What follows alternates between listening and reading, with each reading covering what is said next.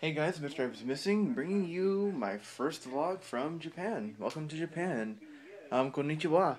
Um, today is July 8th, although because I'm in Japan International Dateline, today's actually July 9th, which is pretty cool.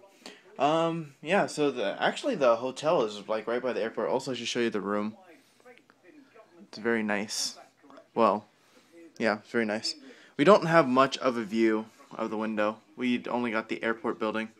My um, mom and my sister, they have a lot better view. They have a view of the ocean and then more water. Also the airport, so they can actually watch things land. Um, as customary Japan, there's bathroom slippers. And here's the bathroom. Very nice. What you doing? Vlog. Hi. Vlog. I'm showing off the room. Yep. That's pretty much it, actually. The room is so much cooler than ours? I don't know. Ocean view, maybe? That's my dad, by the way.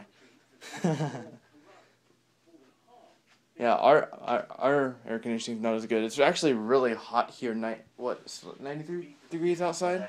About yeah, but but yep. So definitely more vlog videos to come. Um, probably more sightseeing, more tour stuff, not just hotel rooms. And that's about it. So guys, this is Mr. Happy's missing, and I'll see you in the next video. Weird. This is their view.